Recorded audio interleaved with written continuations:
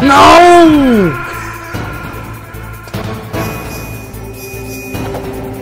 Damn, he stomped on my ass too.